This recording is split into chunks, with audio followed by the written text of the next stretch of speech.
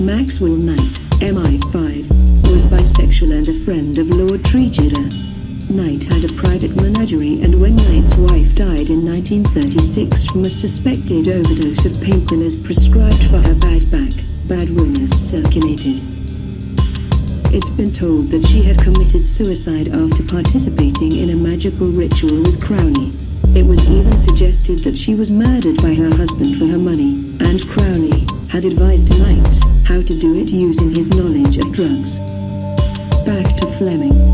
It may have been Fleming's interest in astrology that led to his boss, Admiral John Godfrey, to recruit astrologers to cast the horoscopes of Hitler, to see what he might be planning. One of the astrologers, who it is known, was recruited by SOE, was a Hungarian Jewish novelist, journalist, and filmmaker, called Wohl. He claimed that he had been given the honorary rank of a captain in the British Army, although the Ministry of Defence denied this after the war. It was a known practice. When Rudolf Hess carried out his disastrous peace mission and landed by plane in Scotland, he was immediately arrested. He had chosen a Scottish landing site, near the ancestral home of the Duke of Hamilton, and Hess demanded to see the aristocrat. He missed the landing spot, due to sabotage of the airstrip lights. This is also a very remarkable odd story, on which we'll come back later. Commander Ian Fleming was keen that Crowley should be allowed to interview Hess in captivity. This seems to have been suggested to Fleming, in a letter from Crowley, dated four days after Hess was captured.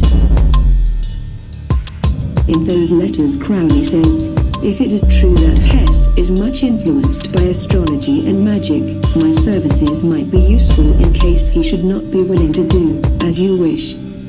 Although SIS asserted that Crowley never met Hess, it has been claimed that MI5 did arrange an interview between the two men at one of their interrogation centers. The Nazi Party's reaction to Hess' peace mission was to disown the deputy Führer and his actions.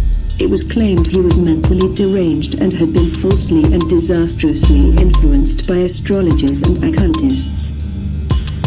Despite its unofficial interest, the Third Reich had always had an ambiguous official approach to occultism and secret societies. A few weeks after the failed mission, an operation called Action Hess was launched by the Gestapo. This included banning performances or lectures on the occult, astrology, telepathy, clairvoyance and spiritualism. Many of their publicly known practitioners were arrested and ended up in concentration camps.